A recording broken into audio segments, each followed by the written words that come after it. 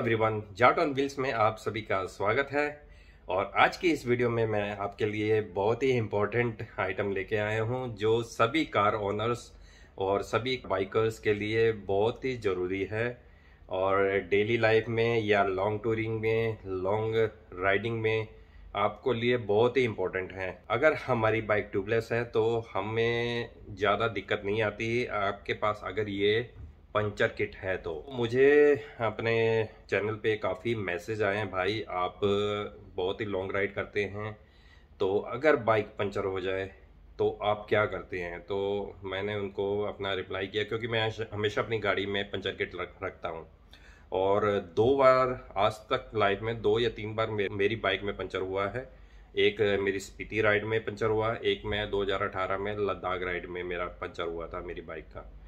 तो हमने just within two या थ्री मिनट्स में पंचर को लगा दिया था और फटाफट निकल गए थे और हम ऐसी जगह में थे स्पीति में जहाँ 10-15 किलोमीटर ना आगे कोई था, ना 10-15 किलोमीटर पीछे कोई था। तो ऐसी जगह हम फंसे हुए थे। तो इस चीज़ की इम्पोर्टेंट वहाँ पे पता चलती है ऐसी जगहों पे।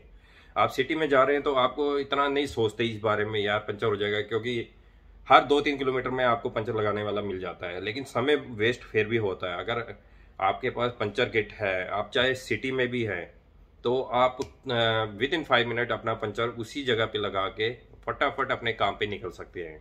मैंने काफ़ी गूगल सर्च करा और मैंने चार पाँच किट्स के बारे में मैंने निकाली है कि कौन कौन सी किट आपको यूज़फुल हो सकती है, आप ले सकते हैं। तो मैं टॉप फाइव जो पंचर किट्स हैं, उसके बारे में मैं आपको बताऊँगा आज इस वीडियो में। तो ये पाँचवें नंबर की पंचर किट मैं बता रहा हूँ आपको। ये है टायर वेल का सिक्स इन वन का पंचर किट। और इसमें मैं दिखा देता हूँ क्या क्या आता है। जो सबसे पहले इसमें आता है ये नोज़ प्लायर ये बहुत ही इंपॉर्टेंट होता है। मैं इसके फ़ंक्शन में बता देता हूँ आपको कैसे, क्या करना होता है। नोज़ प्लायर का काम होता है, अगर आपके बाइक में कोई भी कील नेल लगा हुआ है, उसको रिमूव करने के लिए, पत्थर भी गड़ गया तो उसको भी आप आराम से इसको निकाल सकते हैं, इस नोज़ प्लायर से। बहुत ही इंपॉर्टेंट होता है ये नोज़ प्लायर पंचर किट में। तो इसके अलावा ये दो टूल्स हैं। ये स्पायरल टूल्स है टी हैंड स्पायरल टूल ये है टी ग्रिप है प्लगिंग टूल तो आप दोनों को देख पा रहे होंगे। दोनों ही मतलब कि बहुत ही यूज़फुल आइटम है। इसका काम क्या होता है? जहाँ भी पंचर हुआ है, उसका रास्ता बनाना आपको।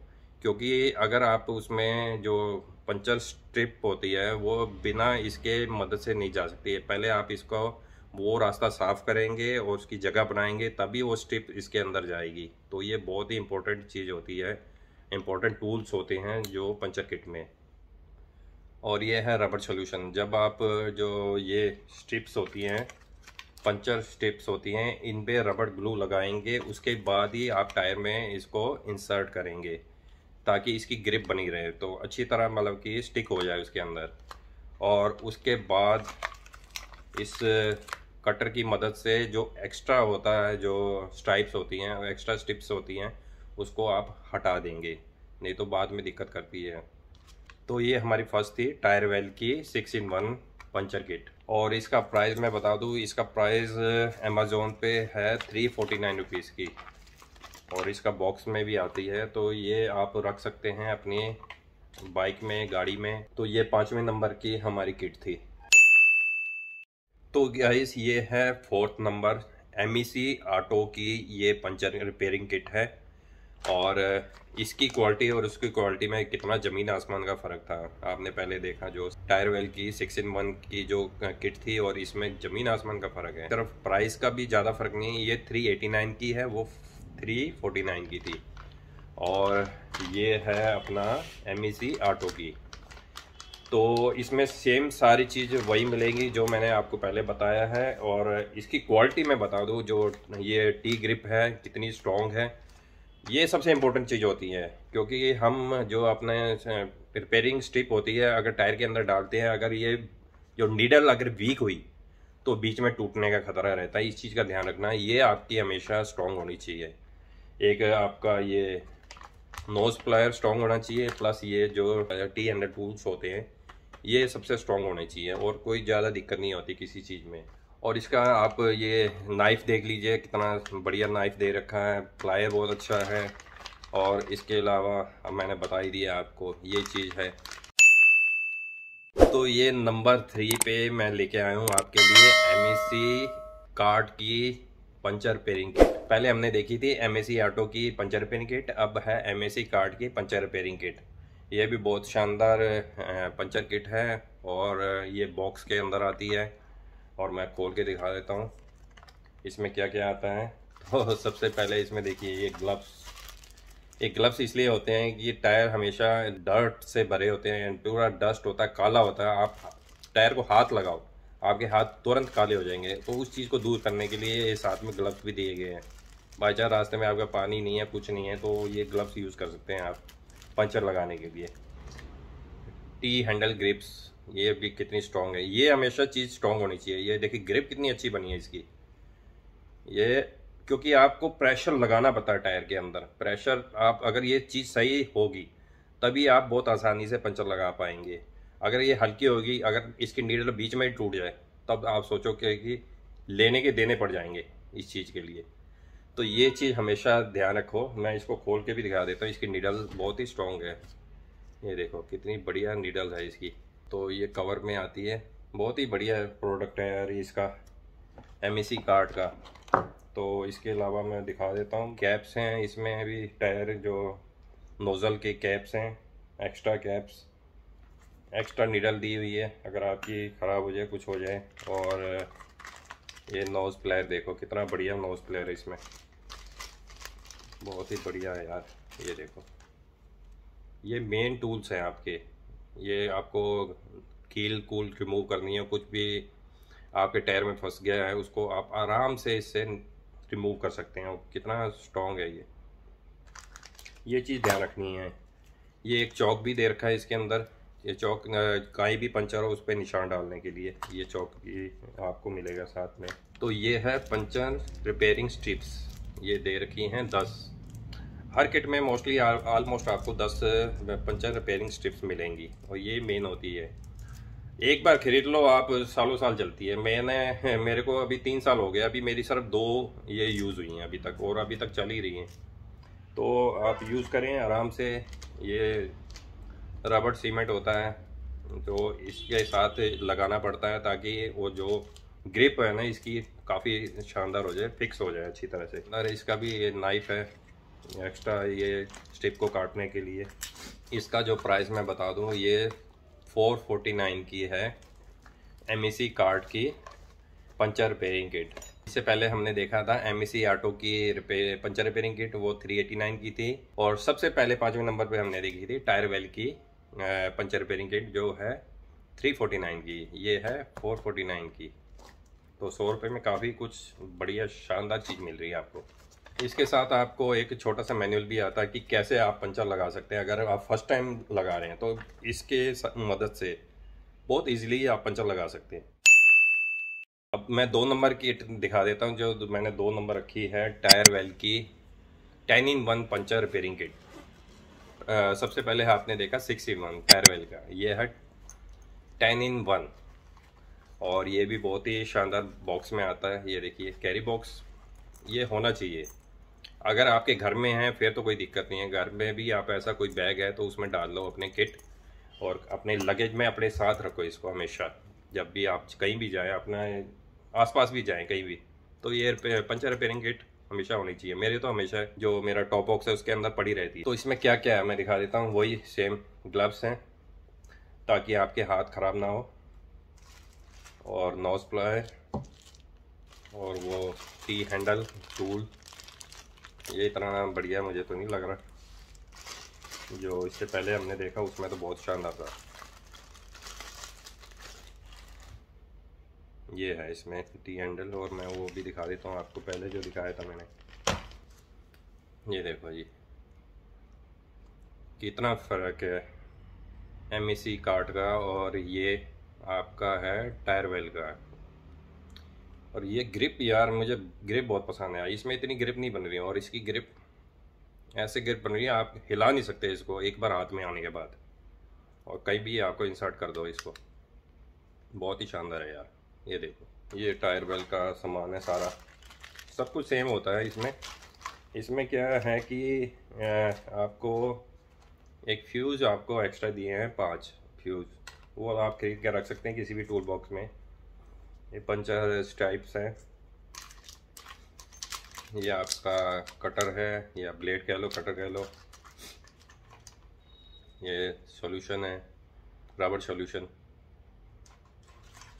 तो सभी जितने भी जो पंचर किट है, सभी में ऑलमोस्ट सभी की चीज़ एक ही तरह की मिलती हैं। जो सस्ती वाली लोग हैं उसमें इसमें से तीन चार चीज़ मिसिंग होगी, बाकी सारी सेम ही होती हैं। लेकिन क्वालिटी का बहुत फ़र्क होता है, ये चीज़ का ध्यान रखना है। एक बार चीज़ ले लो, आपके सालों साल चलनी है, कौन सी आपने रोज़ रोज़ खरीदनी है? आपने जब भी खरीदनी है तो ये आप स्ट्रीट पे ही खरीदोगे, ये कहीं से भी मिल जाएगी आराम से। लेकिन ये चीज़ और प्लायर नोज़, प्लायर ये चीज़ स्ट्रॉन्ग होनी चाहिए, ये याद रखना आप। इसकी कीमत मैं बता दूँ, ये है फाइव फोर्टी नाइन का। और हमने थ्री फोर्टी नाइन से शुरू करा है, हम पहुँच गए हैं फाइव फोर्टी नाइन पे। ये है दो नंबर, हमारी जो मैं दिखा रहा हूँ आपको। काफ़ी मैंने सर्च करके मुझे काफ़ी अच्छी ये किट लगी है। ये भी है एम ऑटो की पंचर रिपेयरिंग किट और इसमें जो टूल्स दिए गए, ये कंप्लीट ऑलमोस्ट कंप्लीट है ये। आपको कुछ भी एक्स्ट्रा कैरी करने की ज़रूरत नहीं है, अगर आपके पास ये है तो। तो मैं खोल के दिखा देता हूँ आपको। बहुत ही शानदार पैकिंग है बैग है, ये अपना जिपर बैग है, और ये देखिए। आप देख पा रहे होंगे। इसमें ऑलमोस्ट सब कुछ है। सब कुछ मिलेगा इसमें। इवन इसमें ये बोतल भी दे रखी है शैम्पू बोतल और साथ में शैम्पू भी दे रखा है। शैम्पू मिलाओ और स्प्रे करो टायर पे, आपको पता चल जाएगा कहाँ से लीकेज हो रही है। अगर ज़्यादा हवा निकल रही है तो ऑलमोस्ट पता चल जाता है। कम हवा निकल रही है तो उसमें पता नहीं चलता जब तक आप ये शैम्पू शैम्पू उस जगह पे ना मारे टायर पे, पूरे टायर पे शैम्पू मारेंगे। तब कहीं जाके कहीं पे बबल आपको नज़र आएगा कि यहाँ यार, यहाँ से हवा लीक हो रही है। तो उस जगह पे आप ये चौक से निशान लगाएँ।